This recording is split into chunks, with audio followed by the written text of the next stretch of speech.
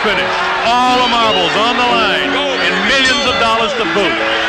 Here we go. Both fighters need a big round. The 15th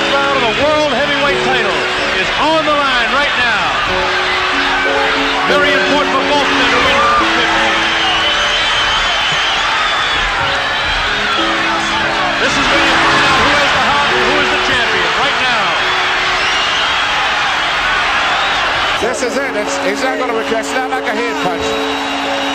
He may not be able to recover. I don't think so. And, and one is going to go right back down there again. Right to the body again.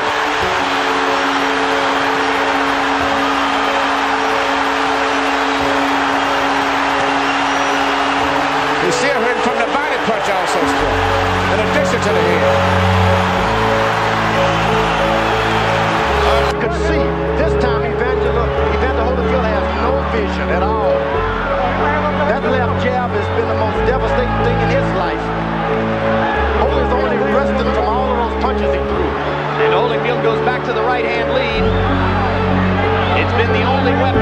Been consistently good to him tonight.